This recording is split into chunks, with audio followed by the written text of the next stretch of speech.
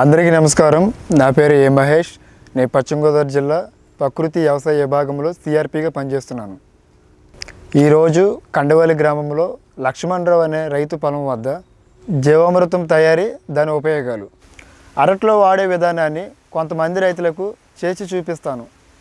అందరికీ నమస్కారం. జీవామృతం గురించి నేర్చుకుందాం అనుకున్నాం కదా ఇప్పుడు తయారు చేద్దాం. మహేష్ గారు జీవామృతం తయారు చేయడానికి ఏ పదార్థాలు కావాలండి?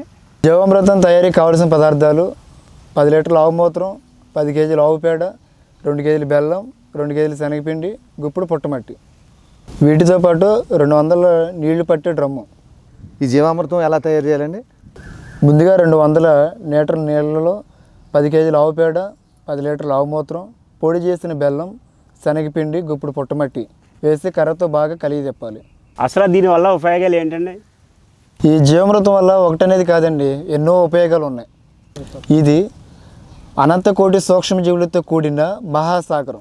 జీవామృతం ద్వారా భూమిలో సూక్ష్మజీవులు వానపాములు ఎక్కువగా వృద్ధి చెందుతాయి. మట్టిలో నిద్రావస్థలో ఉన్న సూక్ష్మజీవులు వానపాములు చైతన్యవంతం చేయడం ద్వారా ఈ జీవామృతం భూసారం పెరగడానికి ఉపయోగపడుతుంది. ఈ సూక్ష్మజీవులు భూమిలో మొక్కల వేర్లు పోషకాలను వినియోగించుకొని వేరులోకి అందుబాటులోకి తెస్తాయి. నీటి ఎద్దడిని తట్టుకోవడానికి ఈ జీవామృతం రైతులకు ఎంతగానో ఉపయోగపడుతుంది. ఈ జీవామృతం వాడడం వల్ల పంటలలో అద్భుతమైన ఫలితాలు సాధించవచ్చు. జీవామృతం తయారు చేసే విధానం మాకు చెప్తారా? అలాగే తప్పకుండా ఈ జీవామృతం ఎలా తయారు చేయాలో మీకు ఇప్పుడు చేసి చూపిస్తాను. ఇక ఈ రెండు వందల లీటర్ నీటిలో పది కేజీల ఆవు పేడ వేసి కలపాలి. తర్వాత ఈ పది లీటర్ల ఆవు మూత్రం దీనిలో పోయాలి. తర్వాత బెల్లాన్ని పొడి చేసిన బెల్లాన్ని కలుపుకోవాలి. తర్వాత ఈ శనగపిండి దీంట్లో కలుపుకోవాలి.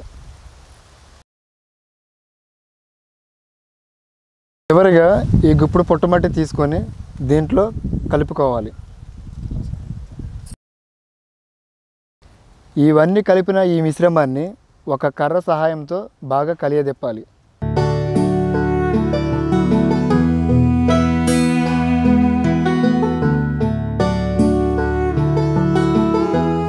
జీవామృతం తయారైపోయినట్టేనండి ఇది?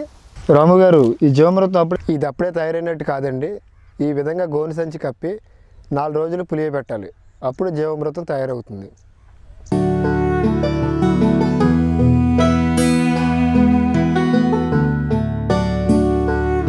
ఉదయం సాయంత్రం కర్ర సహాయంతో సవ్య దృష్టిలో కలిగి తిప్పుతుండాలి.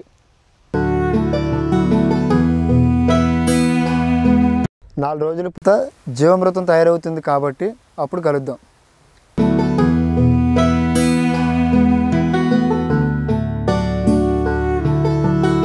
నాలుగు రోజుల తర్వాత కలుద్దాం అనుకున్నాం కదండి. ఇప్పుడు ఈ జీవామృతం తయారైంది. ఇది ఎన్ని రోజులు నిల్వ ఉంటుందండి? ఈ జీవామృతం తయారైన తర్వాత రెండు మూడు రోజులు నిల్వ ఉంటుంది. దీన్ని ఎలా ఉపయోగించుకోవాలండి? ఈ విధంగా తయారైన జీవామృతాన్ని నీటి ద్వారా పారించవచ్చు పంటపై పిచికారీ చేసుకోవచ్చు మొక్క మొదల భాగాన వేయవచ్చు.